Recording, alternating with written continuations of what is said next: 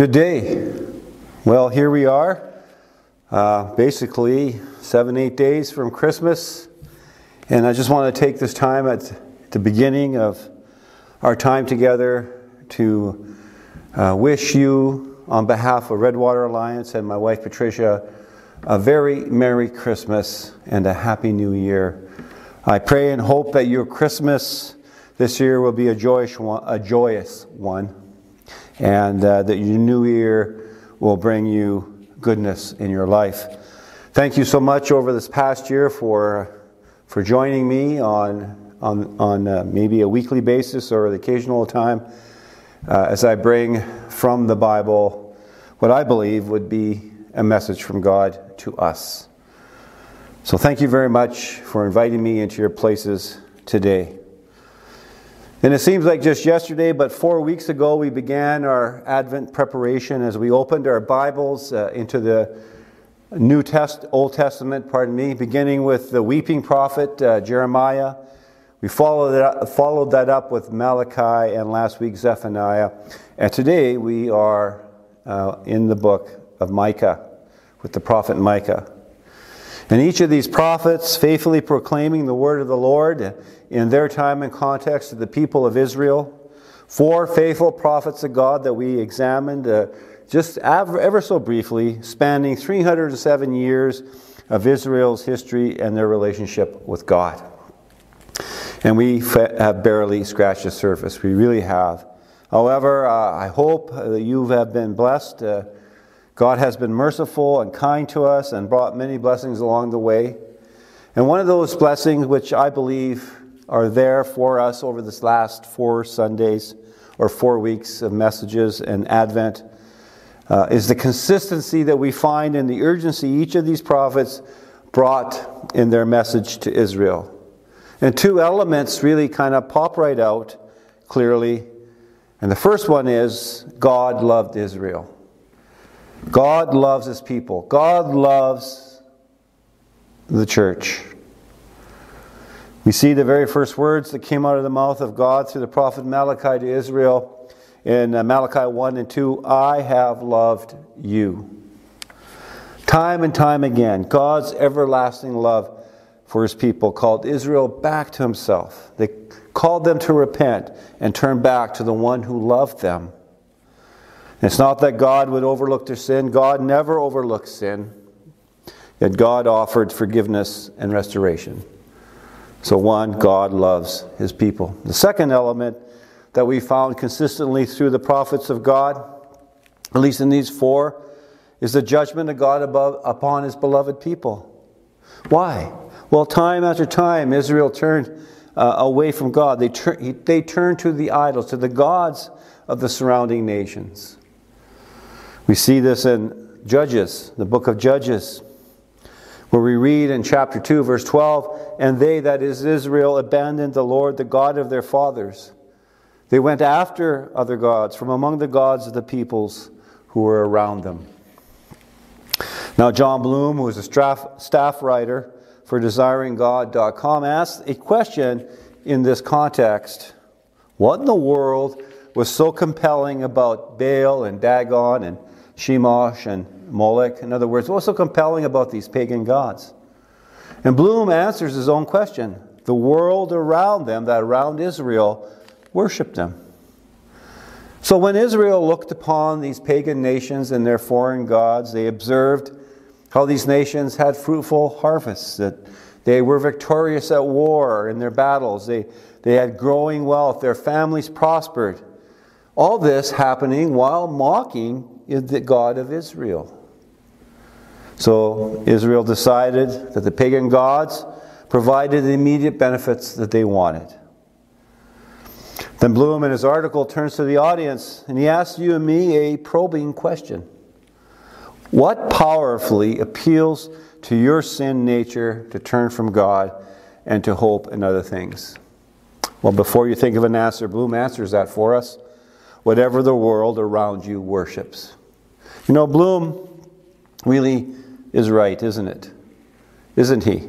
Just as the Israelites turned from God to idols out of covetousness and, and fear, we often do that as well for the very same reasons. Well, please turn in your Bibles to Micah, the prophet Micah, the book of Micah, and uh, we'll be starting in chapter 5, verse 2 to 5a, the very first part of that verse. Chapter 5, verse 2. But you, O Bethlehem, Ephrathah, you who are too little to be among the clans of Judah, from you shall come forth for me one who is to be ruler in Israel whose coming forth is from of old, from ancient days. Therefore he shall give them up until the time when she who is in labor has given birth. Then the rest of his brothers shall return to the people of Israel. And he shall stand and shepherd his flock in the strength of the Lord, in the majesty of the name of the Lord his God, and they shall dwell secure, for now he shall be great to the ends of the earth. And verse 5 And he shall be their peace. The Lord bless the reading of his word. Let's pray. Father, we just thank you for this day. Thank you, Lord, for this time here in Micah as we spend uh, ever so brief a moment here today. Will help us to understand these words written so long ago to an ancient people, what they mean and what the ramifications are for us today. Thank you, Lord, that through your prophets, your faithful prophets, the message of God was always present before the people as it is today in the Word of God. Help us to do these things to bring you great honor in Jesus' name. Amen. First things first, let's place the prophet Micah in Israel's history. So, Micah's ministry spanned approximately 50 years from 737 to 690 BC, give or take a bit there. And when Micah began his ministry, Israel had been divided into two kingdoms. There was a northern kingdom with the capital uh, Samaria, and the southern kingdom, Judah, with the, with the capital Jerusalem. Uh, a contemporary of Micah at the time would have been Isaiah, who would have been halfway through his ministry time uh, in Israel.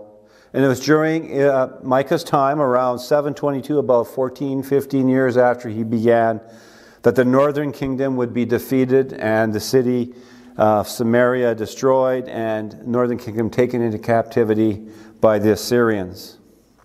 As we think about Micah the prophet himself, like Malachi, when we looked at Malachi, uh, there's not much to be known about uh, Micah other than what we find here in the book Micah.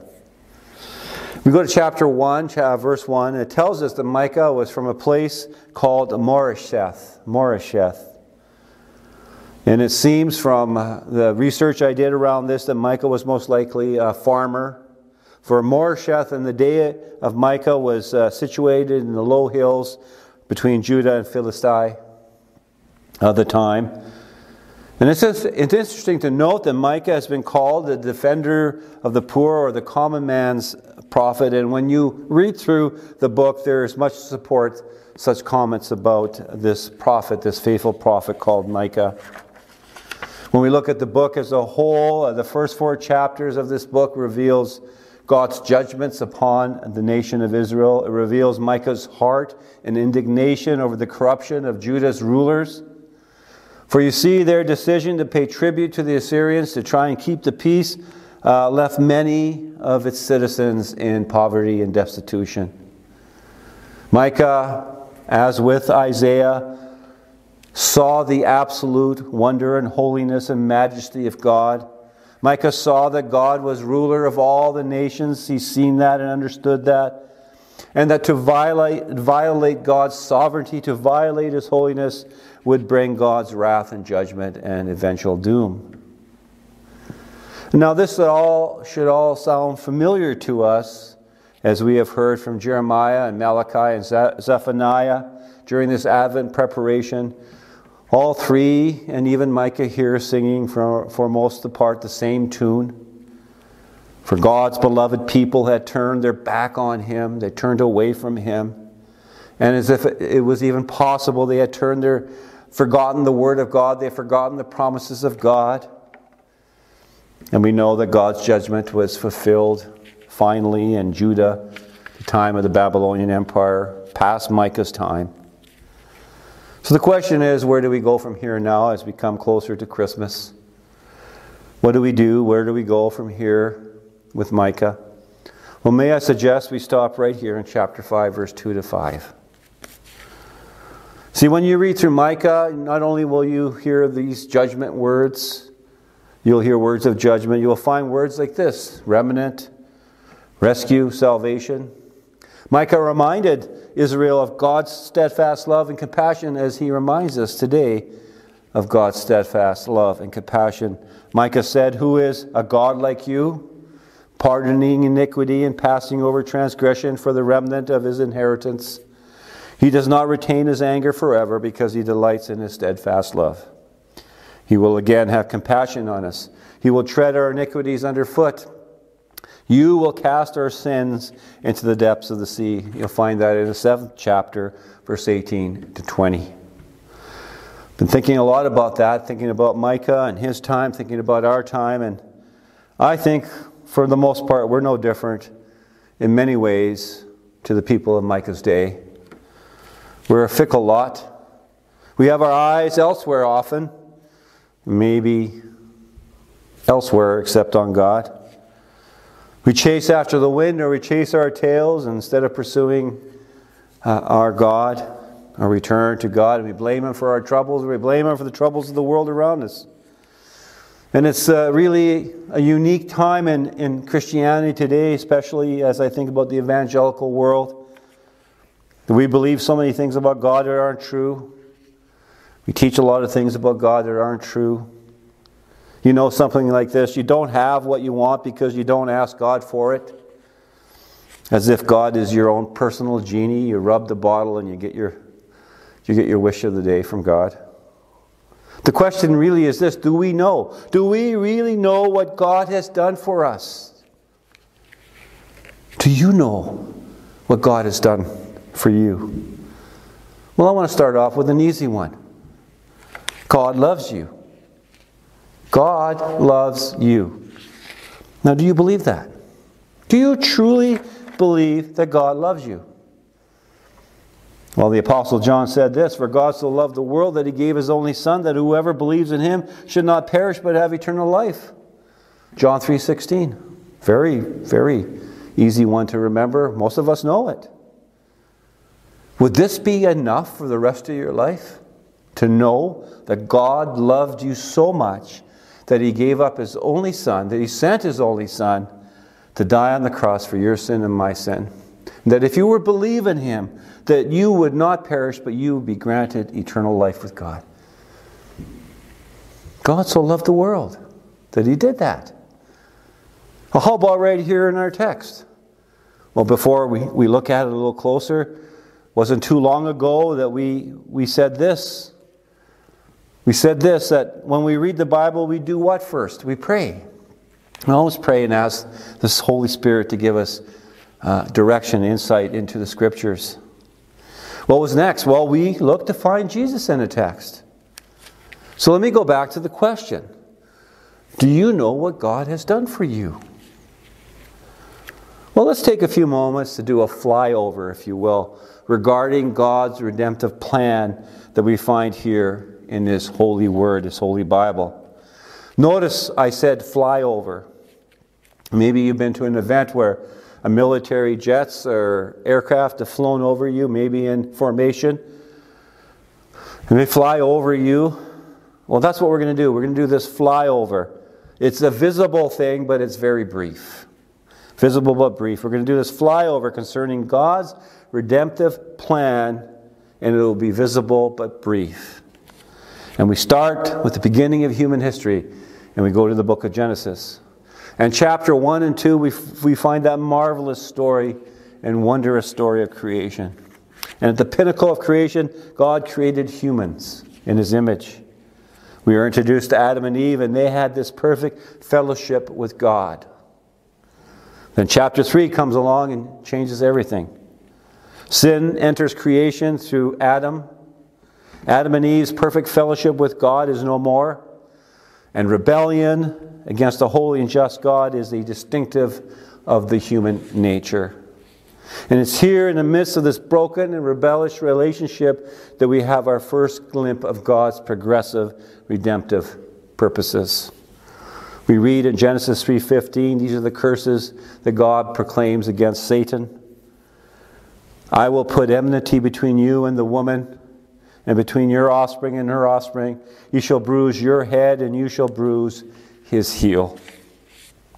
You know, Genesis 3:15 is often referred to as the proto-evangelium or the first gospel. And in here we have the two elements that were unknown in the Garden of Eden before chapter 3. As one commentator, what we have here in 315 is the basis of Christianity.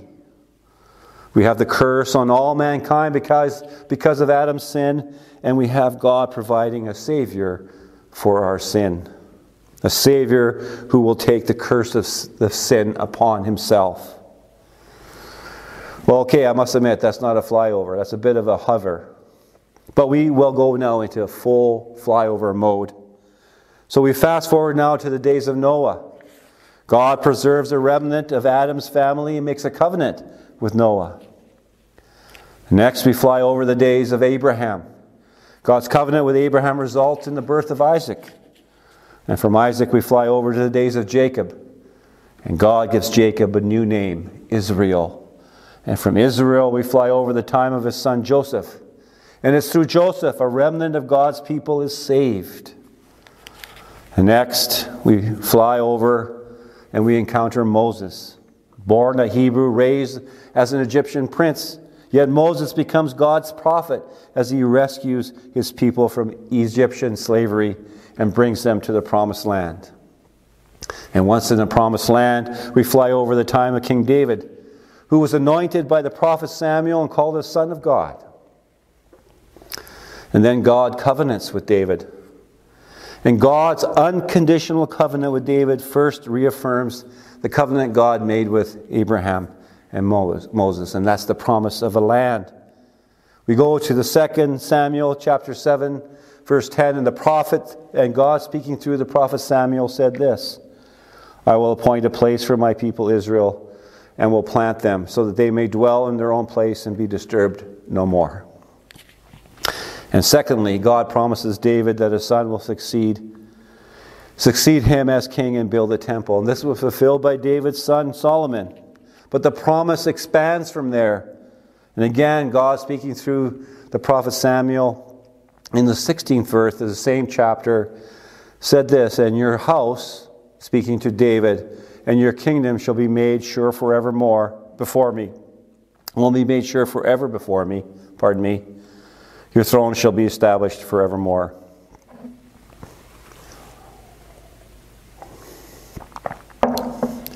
God promises David that another son of David would come who would rule forever and rule over an everlasting kingdom. Well, folks, the fuel low level light is on. Beep, beep, beep, beep, beep. And we must land now back here in Micah chapter 5, verse 2 to 5a. And due to the nature of a flyover, we didn't have any time to stop and explore.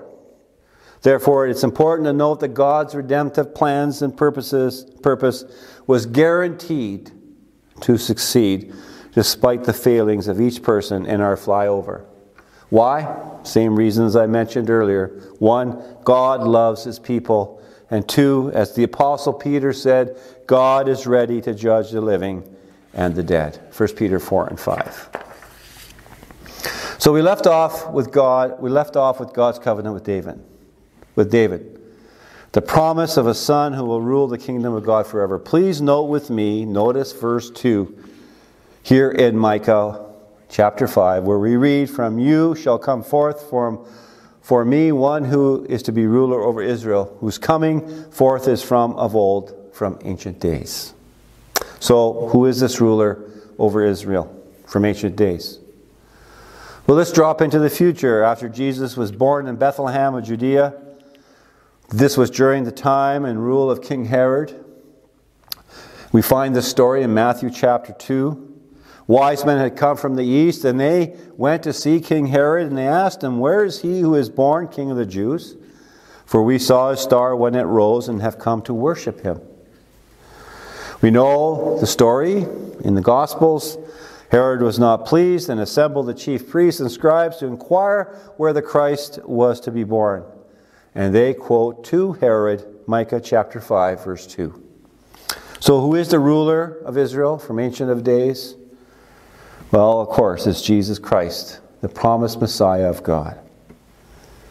Micah's contemporary Isaiah prophesied in the ninth chapter, verse 6 For to us a child is born to us a son is given, and the government shall be upon his shoulder, and his name shall be called Wonderful Counselor, Mighty God, Everlasting Father, Prince of Peace. Isaiah 9 6.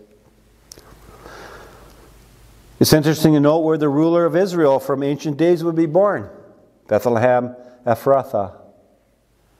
We must not overlook what we mustn't overlook what Micah was doing here. We, he is using the prophet's telescope. The prophet's telescope. First, he prophesied the destruction of Israel, the northern kingdoms by Assyria, and then later Judah.